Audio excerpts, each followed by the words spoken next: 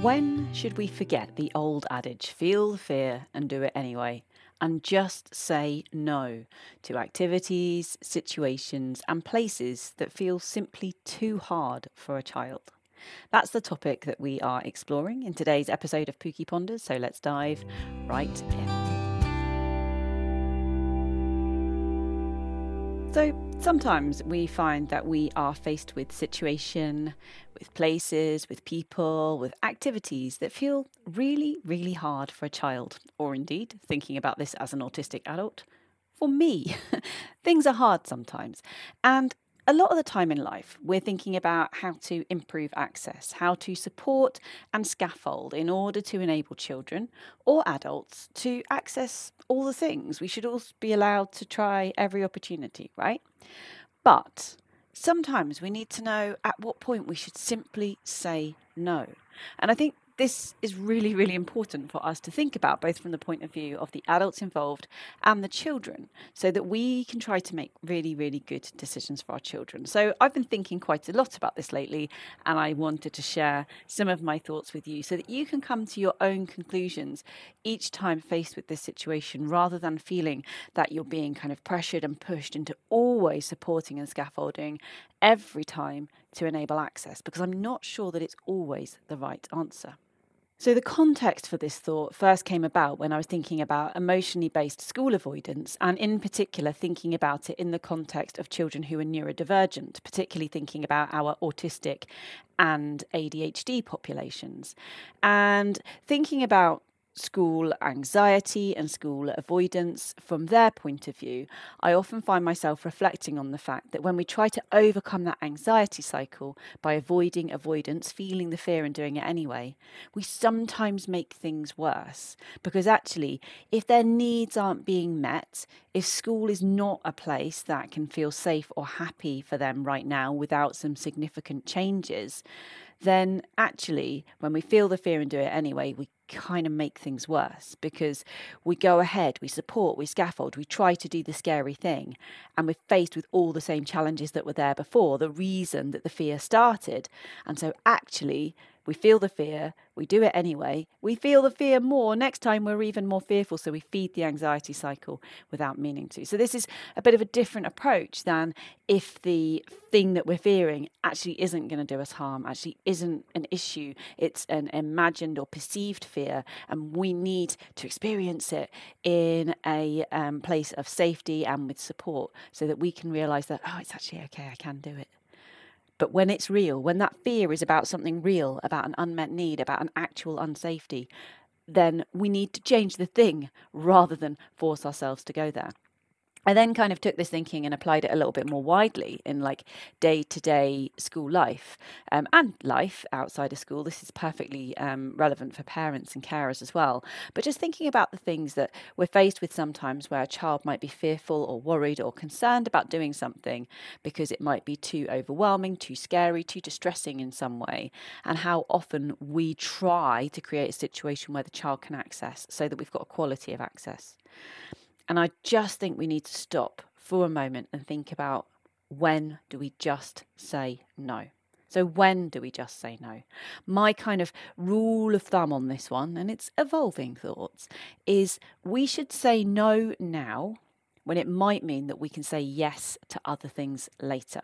So sometimes by forcing that access, by creating an environment, support, scaffolding, so that a child can somehow, by hook or by crook, do the thing that they're fearful of, go to the place, be with the people, engage in the activity, whatever it is, the thing that they're concerned about that may overwhelm them. When we promote that access, sometimes we get them there, they do the thing, we tick the box, and then they're good for nothing. They're completely burnt out or overwhelmed or so distressed that they're no longer able to engage in other things. Or we see that kind of presenteeism. So they are there, physically present, but emotionally, psychologically absent. So we're saying yes now, but we're kind of saying no to later. And if we flip that and reverse it and look at it more positively, sometimes we're going to be looking at situations where we go, do you know what? Actually, I think that attending the whole school assembly is genuinely too overwhelming for this child on this day. So we're not going to do that. We're just going to say no. And by saying no to attending the whole school assembly today, that means that we're saying yes to them engaging really, really well in the maths lesson that they really enjoy later on, or allowing them to have a great time at break with their friends, or engaging with that art project that they've so been looking forward to. Whatever it might be, just always be thinking the decision we make now, whether that's a no or a yes, what does that mean later in terms of no's and yeses? So take that decision out of isolation and try to place it in a bit of a timeline and consider what we're saying no to when we say yes to the hard thing right now. The next thing I'd be thinking about when considering do we say yes or just no to certain situations, places, activities, things, etc., is what does the child want? So there will be some situations where the child desperately wants to do the thing. They really, really, really want to. Even if, as the parent, as the carer, as the staff supporting in school, we look at this and go, this is a really bad idea for you. You have typically become very overwhelmed in these kinds of situations. We've tried before and it didn't succeed. I can see that later on you're not going to be able to engage in other things because you'll have used all your emotional and physical energy to act, to engage in this task. But if the child really, really wants to do the thing, really wants to engage with it, we can explore with them the pros and cons and we can think about what that kind of recovery period might look like. But actually, empowering them to make these kinds of decisions when they're young is really, really good uh, practice to get into for life because actually particularly if they have a kind of lifelong difference so perhaps they've got sensory differences and that's not going to go away making decisions now about do i want to go and do the thing which is going to really overwhelm my senses because i really want that experience? And what's that going to cost me later and am i prepared for that cost? Making those decisions now is something they're going to then take throughout their life. I was really proud of my daughters recently so lyra and ellie they're 13 13 and they're both autistic. And they were having a discussion about Taylor Swift. So, Taylor Swift in our house is a goddess as far as my husband is concerned. He's a massive, massive fan. Um, and the girls really enjoy her music too. It's hard to be around a parent who's so enthusiastic about something without catching it a little bit. Now, Taylor Swift has recently announced a European tour. And for those of you who aren't engaged with Taylor Swift, getting tickets to a Taylor Swift concert is like winning the lottery or getting tickets to Glastonbury. It's that sort of thing um, where, you know, one must block out the diary for the moment the tickets are going to go on sale. She literally broke Ticketmaster last time her tour tickets went on sale. Ticketmaster, like, biggest ticket seller in the world. I think she just bought all the websites down. Amazing. So, Anyway, this has been a discussion in our house because the um, tour dates have been announced and the point at which the tickets will go on sale has been announced. And so there's discussion about, well, who would want to go? If we could get these golden tickets, very, very unlikely, but who would want to go? And my daughters each had a completely different approach to this. Ellie is like, well, I love Taylor, really love her, but no, that would be completely overwhelming for me. And I'd rather just listen to it at home, to be honest, or watch it on the TV or something. Lyra, on the other hand, is like, hell yeah, I really, really want to do that. And when I was listening to the two of them exploring this and discussing it together, A, I was really proud of how they respected each other's different points of view. But B, the thinking that went into it. Ellie's questioning Lyra, going, but why would you do that? There's going to be tens of thousands of people there. It's going to be so noisy. It's going to be so overwhelming. All the sights and the sounds and the people and even just the travel to get there. This is going to be massive and so scary and so hard and so overwhelming. And Lyra's saying, Yep, it's going to be all of those things. And probably if I do something that massive, it's going to take me days, weeks maybe, to completely get over it but it would be totally worth it because I would have seen Taylor, and that's a once in a lifetime opportunity I might get. So I'd really, really, really want to do it and really love it in that moment and then deal with the burnout afterwards. And it was just interesting seeing how they took those different approaches. And I realised that I can't make assumptions for my children about what they should and shouldn't do without involving them, without engaging them, without asking them, what does this experience mean to them? How much are they prepared to pay for it in terms of the kind of potential fallout, burnout repercussions? What are they prepared to say no to later in order to be able to say yes now? So, exploring what the child actually wants. How much does this matter to them? The child who struggles with assembly, we were thinking about before, we might generally be saying no, but maybe there's one day when all their friends are doing a presentation in assembly and they actually really, really want to be there. They want to see that. So, we might think about on that day changing our answer and saying, yes, this is a day when we feel that fear and we do it anyway. The next thing we might think about is actually whether it has to be yes or no, or whether there might be some kind of possible compromise. So sometimes when we're thinking about what to say yes to and what to say no to, we're thinking about activities which there might be a middle ground for, where perhaps the child could access if we think about that support and scaffolding really carefully, and maybe think a little bit outside the box with this. So maybe you have a child who really wants to go on a particular trip, for example. And maybe that feels like actually a bit too much to do alongside all the other children in the busyness of that day, of that activity. But perhaps that child could access and see and have the ability to engage with similar things at that place, doing that thing, but at a slightly different time. Maybe they can go right at the beginning or right at the end.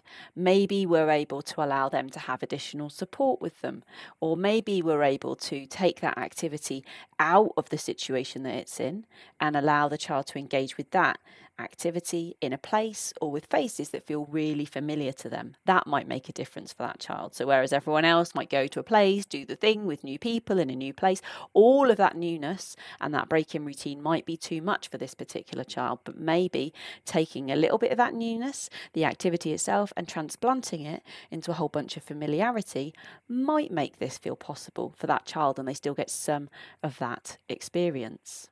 Finally, we might think about the timing of this. So it might be that we are going to say yes to the activity, but we might choose to do it or at a time or on a day that works particularly well for that child. So we might know that, for example, this is a child who tends to manage really much better in the morning, and throughout the day, they tend to be getting a little bit more and more overwhelmed with life in general, and things get trickier for them. So if they're going to access it, they can access it in the same way as everyone else, um, all alongside them in the place with the people at the same time, and that's all good. But we've got to make sure that that access happens in the morning for example. So we might look a little bit at our scheduling. So, for example, you might be doing something really brilliant, like having, I don't know, an author come in and do writing workshops with your children. And maybe you've got a child who really wants to engage with that. And you might be thinking, this child's going to really struggle if their workshop falls at two o'clock in the afternoon. So, actually, we're going to make sure that their class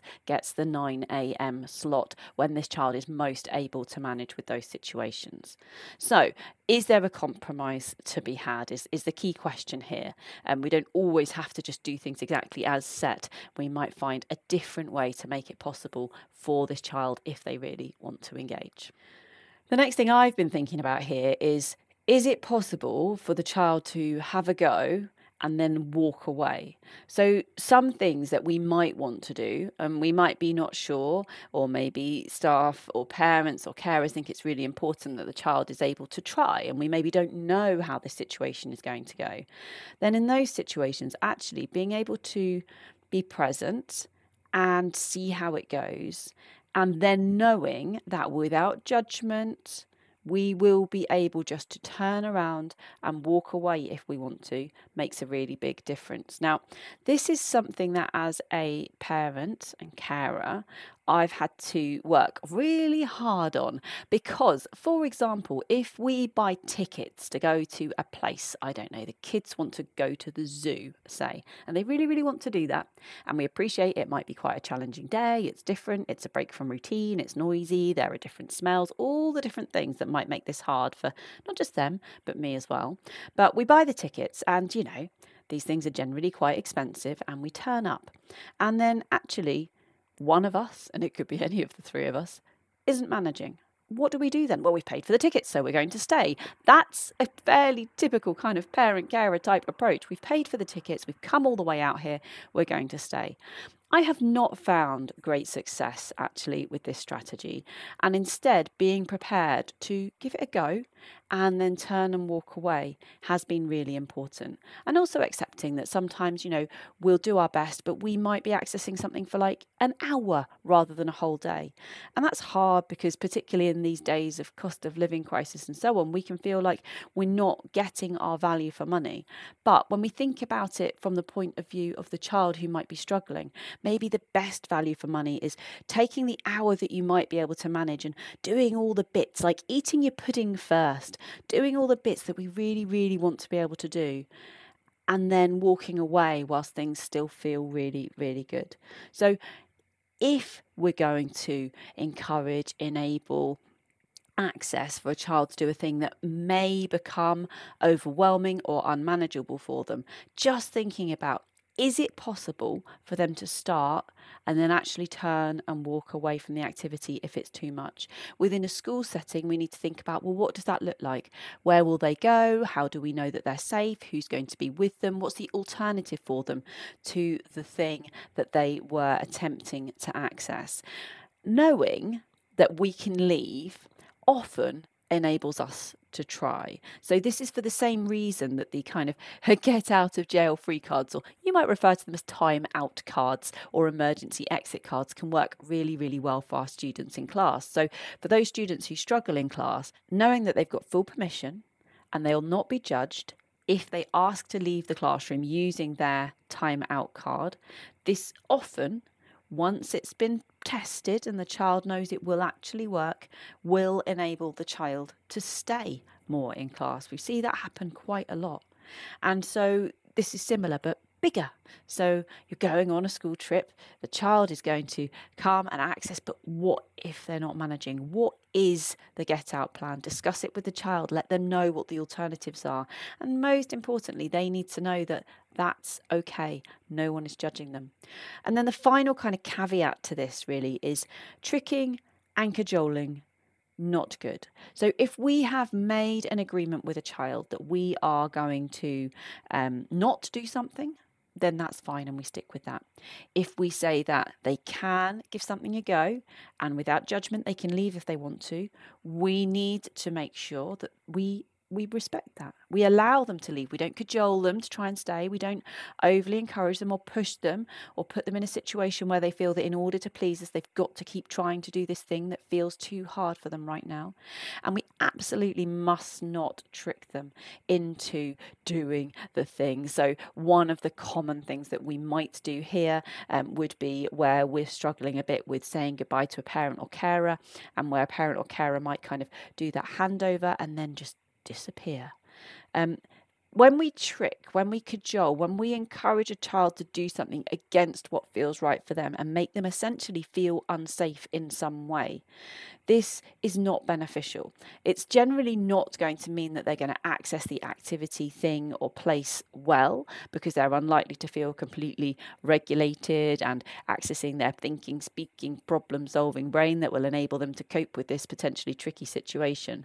But far more importantly than that, it's also really damaging to the relationships with the adults involved in the situation. The person doing the tricking, the cajoling, the walking away is someone who the child will now have a little bit less trust with. And that takes that relationship that's so important and it just puts a bit of stress on it that didn't really need to be there. Whereas, on the other hand, if we stay on team child and we say, right, well, we, we'll try this for 10 minutes and then we'll talk about it, and then it's totally up to you whether you think you want to continue. And if you do, we'll think about how I can support you, or if you want to walk away. And when we do that, and we do what we say we'll do and we respect it, then that strengthens that relationship. That means next time when the child is thinking about doing a hard thing, they know completely that they can trust us to work with them, to support and scaffold them to access that or not in a way that feels possible for them. And over time, this will enable them just to push those boundaries of what feels possible. But in summary, essentially, sometimes you know it's okay just to say no. And remember, every time we say no now, actually, we're opening up yeses for later on. I hope that this gave you a little bit of food for thought. If you liked this or any of the other content that I'm creating, then please support my work by sharing it. You can like and subscribe and tell other people about what I'm doing. Sharing is caring. Uh, you can take a step further in terms of your support if you'd like to by joining me over on Patreon, where for a pound a month or £10 a year, uh, you can more proactively support my work and you get everything a bit early and you get the chance to influence the topics that I'm covering and the content I'm creating. And then there's the nuclear option. You could invite me to deliver a webinar or a face to face session at your setting or your next event. However, you engage with my work, thank you ever so much for doing so, and thank you for all that you are doing for the children and young people in your care. It really, really matters. Until next time, over and